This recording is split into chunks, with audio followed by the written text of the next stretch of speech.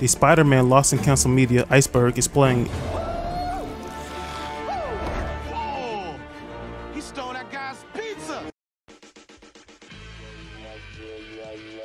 Spider-Man 4 was a planned superhero movie that was intended to be the fourth installment in the Spider-Man film franchise directed by Sam Raimi. The movie was developed in the late 2000s and was scheduled to be released in 2011. However, the project was eventually canceled due to creative differences between director and the studio.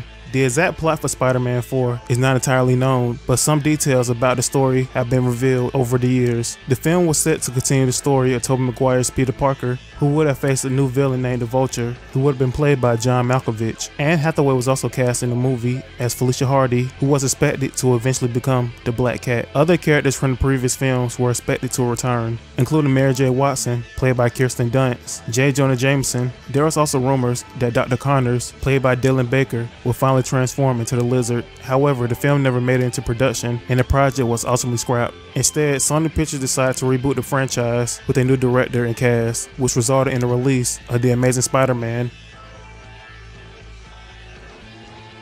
The Amazing Spider Man series was a reboot of the Spider Man film franchise that starred Andrew Garfield as Peter Parker. The series consists of two films The Amazing Spider Man, which came out in 2012, and The Amazing Spider Man 2, which came out in 2014. The second film ended with several unresolved storylines. However, due to the mixed critical reception and the lower than expected box office performance and the controversial Sony hack in 2014, Sony decided to hit the reset button and reboot the series once again with Spider Man Homecoming and Spider Man Into the Spider Verse.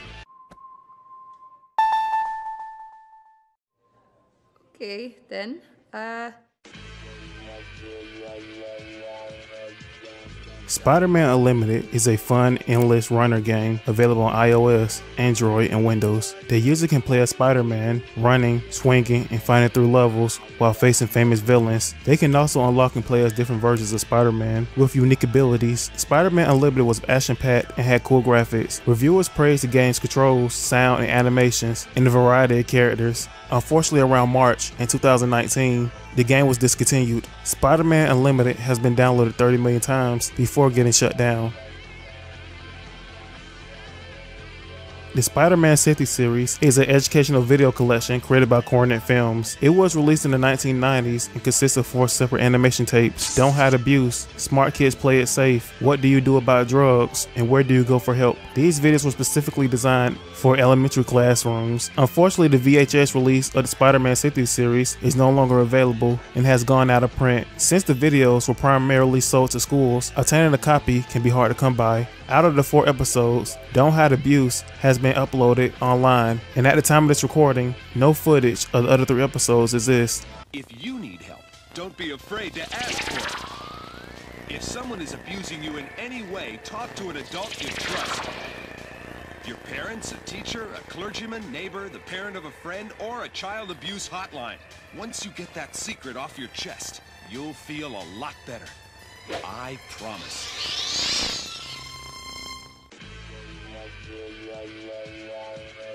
As previously mentioned, Spider-Man 4 is the canceled fourth entry of the Sam Raimi Spider-Man films. A Spider-Man 4 video game was supposed to be released at the same time as the movie release. Tobey Maguire will most likely return for the role as Spider-Man and Peter Parker in the video game, considering the fact that he was in the previous games. However, both the movie and the video game were ultimately canceled due to creative differences between the director and the studio. According to Wayne Dalton, elements of the game were recycled into the game Prototype 2. This implies the studio that would have created Spider-Man 4 would have been Radical Entertainment, the creators of the Prototype series.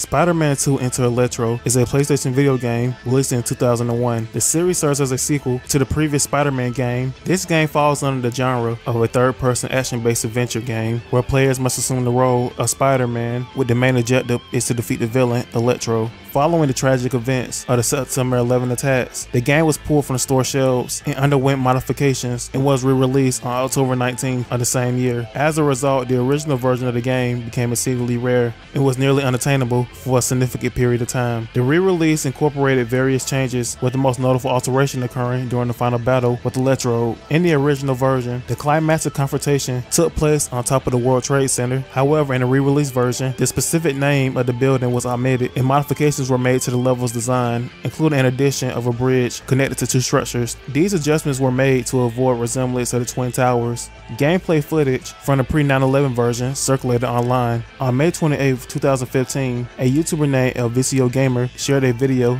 showcasing the final battle from the original version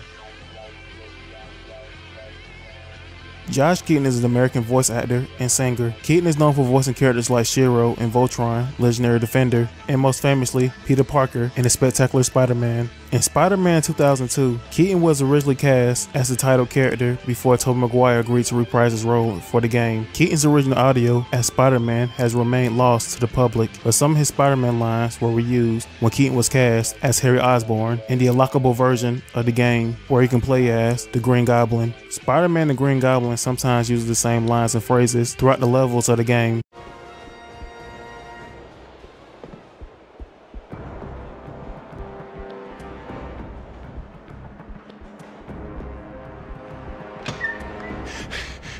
Come on, freak. You need to learn a lesson, and Shocker's School of Hard Knocks is now open. Oh, give me a break, Shock. I can't believe you have any class, let alone a whole school worth.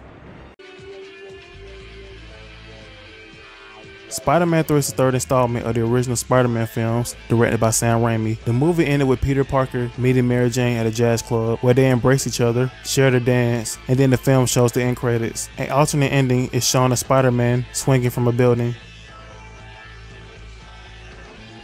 The Amazing Spider-Man 2 is a 2014 live-action superhero film directed by Marc Webb. His film was the final entry in the Andrews Garfield Spider-Man series due to the film's underperformance. Amazing Spider-Man 2 was intended to introduce the character Mary Jane Watson, a longtime love interest and eventual wife of Peter Parker. She was going to be played by Shailene Woodley. However, by the time the film released, it was already announced that her entire role was cut from the final film. James Cameron's Spider-Man was a film project that gained momentum in the 1990s. Despite the initial excitement, this particular iteration of Spider-Man never reached the production stage, and the project ultimately fell through during the early 90s. James Cameron embarked on developing his unique vision for a Spider-Man film he dedicated his efforts in crafting a script that drew inspiration from the beloved comic book storylines, exploring dark themes, and added his distinctive touch. Cameron's script introduced a different twist to the original story, where he envisioned Peter Parker acquiring his spider-like abilities through genetic engineering instead of a radioactive spider bite. It was indicated that a love triangle between Peter Parker, Mary J. Watson, and Gwen Stacy would have been a significant component in James Cameron's script. However, despite Cameron's enthusiasm and creative input, the project encountered numerous obstacles along the way. These hurdles composed of production challenges, legal disputes, and financial issues, all of which contribute to setback and delays until eventually it was cancelled. The Sinister Six is a group of supervillains in the Spider-Man comics who often team up to take down Spider-Man. The idea of a Sinister Six film was first introduced in the post-credit scene of The Amazing Spider-Man 2. The Sinister Six movie was going to be released in 2016, but was later cancelled following the mixed reviews of The Amazing Spider-Man 2.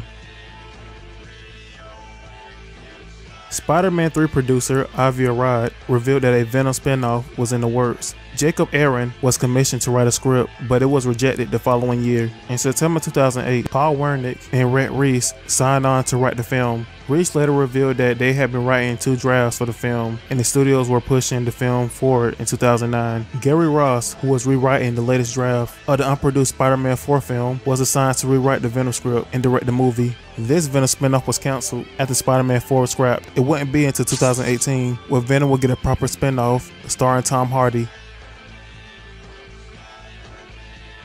The Spectacular Spider-Man is an animated television series that aired from 2008 to 2009. The series received critical acclaim for storytelling, character development, and animation. However, despite its popularity, The Spectacular Spider-Man did not continue beyond its second season. The reason why it never got a third season is due to the ownership and licensing issues between Sony and Disney.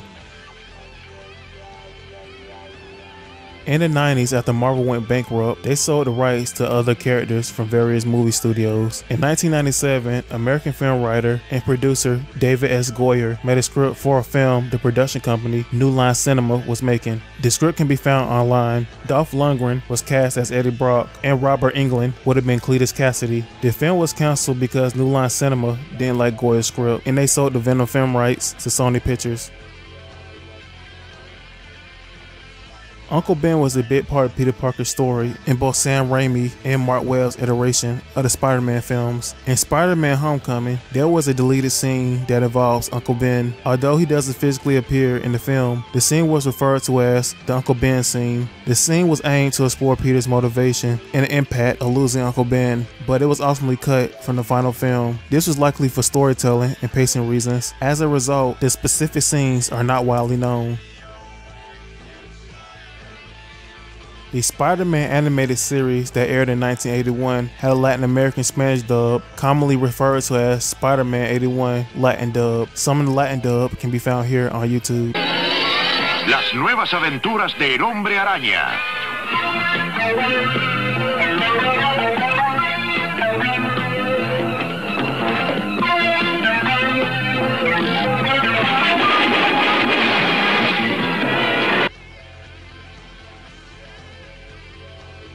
The Ultimate Spider-Man video game was developed by Treyarch and published by Activision in 2005. In the game, players get to experience the thrill of being both Spider-Man and Venom in the open world version of New York City. The game draws inspiration for the popular Ultimate Spider-Man comic book with its cel-shaded art style is beautifully capturing the look and feel of a comic book. The game also offers a compelling and original narrative inspired by comic books. Upon its release, Ultimate Spider-Man received positive reviews and developed a decent fan base. Despite its positive reception, a sequel game for the series was canceled due to lower sales compared to Spider-Man 2. Activision was not confident that a sequel would generate significant sales. The planned sequel would have focused on the Green Goblin as the main villain, and concept art for the game can still be found online.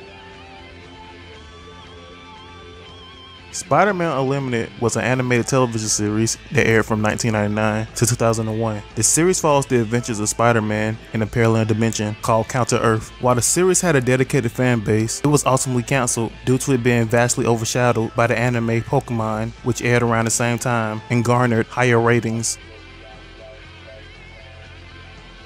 The Venom movie is about Eddie Brock, a journalist who became the host of an alien symbiote. Together, they must stop the villainous Carlton Drake and his plans to exploit the symbiotes. According to Tom Hardy, around 30 minutes of footage was cut from Venom. No official statement was given why the film was cut, but more than likely this was done in order to keep the PG-13 rating.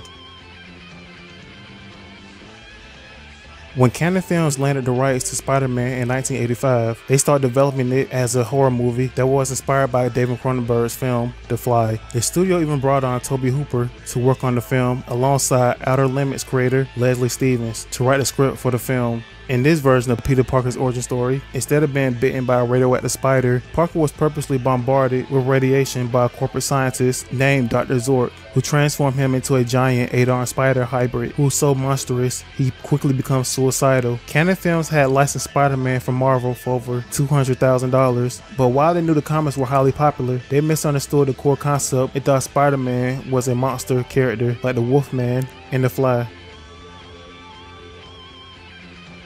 Bill Bixby, the actor who portrays David Banner in the 1970 series The Incredible Hulk, had expressed interest in creating a crossover episode with Spider-Man. Bixby was a fan of the Spider-Man character and believed that a crossover could be a unique and exciting opportunity to bring both two beloved Marvel superheroes together on screen. However, despite his interest, a crossover episode between The Incredible Hulk and the live-action Spider-Man series at the time never came to be. The two shows were produced by different studios and aired on different networks, which likely presented a difficult challenge in making the crossover happen. As a result, the idea remained unrealized during Bixby's time on the show.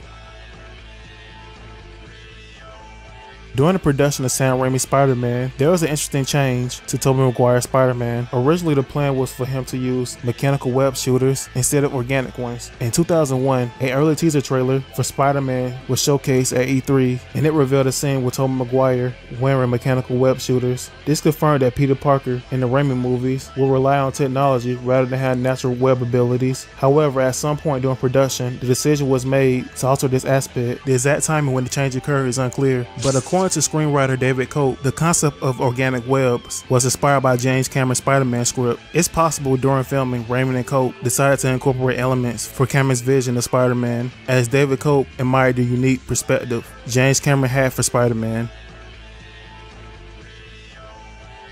In The Amazing Spider Man, there was a scene that didn't make it into the final version of the film involving Dr. Curt Connors' transformation into the villain known as the Lizard. This scene was commonly known as the bathroom scene. In the deleted scene, the Lizard finds his way into Midtown Science High School by using the school toilet as an unconventional mode of transportation. Inside the bathroom, there were two girls engaging in a casual conversation. Naturally, they became frightened when a giant monster suddenly burst through the toilet. The girls then retreat to the corner of the bathroom. The Lizard approaches them. He then begins to take his tongue out out and wiggles it around in a disturbing manner. This moment, while adding to the tension and horror of the scene, was likely removed in the final cut to ensure the film maintained a more family friendly tone.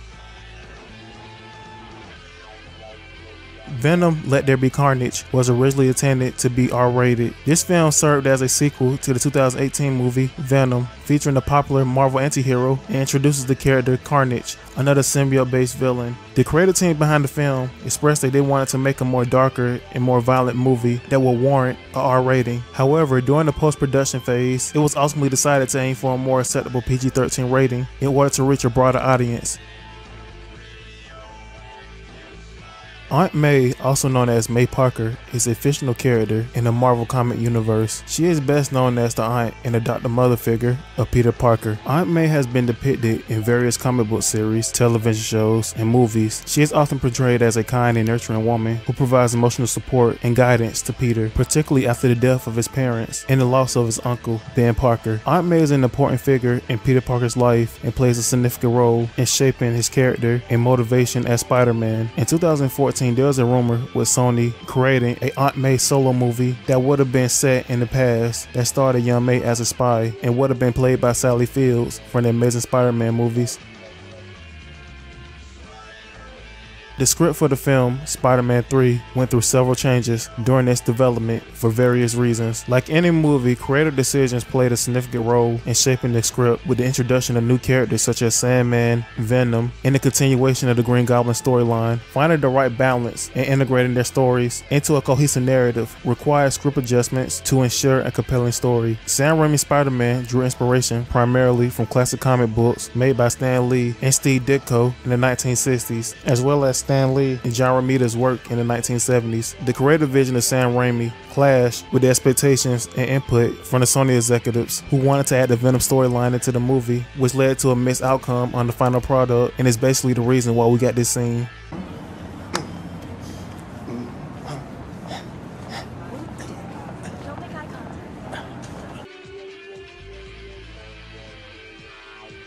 Avengers Infinity War is a superhero film that belongs to the Marvel Cinematic Universe. The movie brings together various characters and storylines from previous MCU films. The movie is focused on Thanos, a powerful alien who seeks to gather all six Infinity Stones. These stones grant immense power over reality, time, space, mind, soul, and power, Thanos aims to use them to balance the universe by erasing half of all life. To stop Thanos, the Avengers join forces with other allies from the MCU. They unite together in a great battle against him. In a new clip from the original Marvel Studio Infinity Saga box set, a clip shows Doctor Strange advising Peter Parker to protect the Guardians.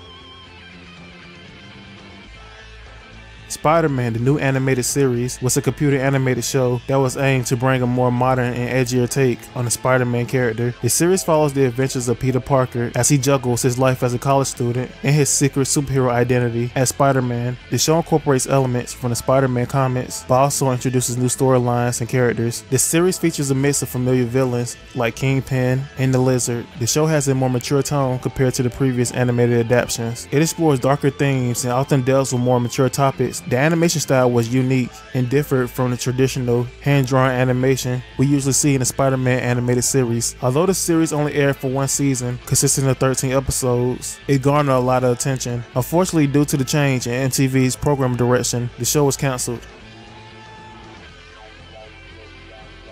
Spider-Man vs. Kraven the Hunter is a 1974 fan film produced by students at New York University. The fan film was directed by Bruce Cardozo and was adapted from the comic book storyline of the same name from Amazing Spider-Man number 15 by Stan Lee and Steve Ditko. The film was not officially licensed by Marvel Production, but it did receive an unofficial blessing of Stan Lee before starting production, as well as his approval to finish the product. The film reportedly sticks very close to the basic story, but apparently removes Chameleon and adds Peter Parker's girlfriend, Gwen Stacy, who has since become a popular supporting character in the comics. After plans for distribution fell through, Cardozo lost interest in the project and all known prints were lost. Looks like you made it to the end of the video. If you haven't already, make sure you hit the like button. Or if you thought this video was shit, make sure you hit the dislike button. I'm TzuNamii, thanks for watching.